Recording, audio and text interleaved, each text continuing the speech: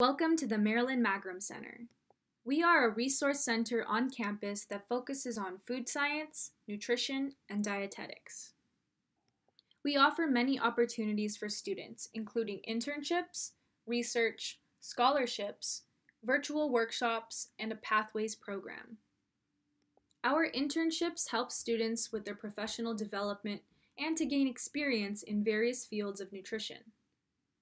We also sell our own food products, which have been influenced by our interns. Something unique about our research lab is that it is open to both undergraduate and graduate students. At this time, we are providing virtual workshops.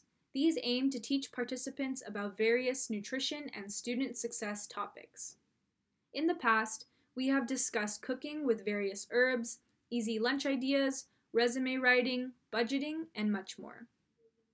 Our center provides a program for Latino and Hispanic students who are studying to become registered dietitian nutritionists.